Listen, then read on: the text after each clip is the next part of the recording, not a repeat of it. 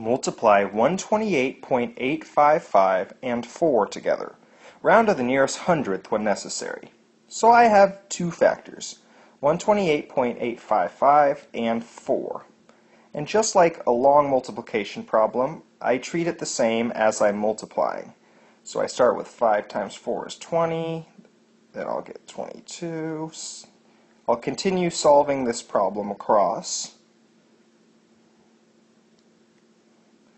And now I'm left with this number. Now what is very important to remember is we count the total number of digits after decimal points in our uh, original problem. In this case I have 1, 2, 3, 4. On the bottom there's no decimal point. So I have 3.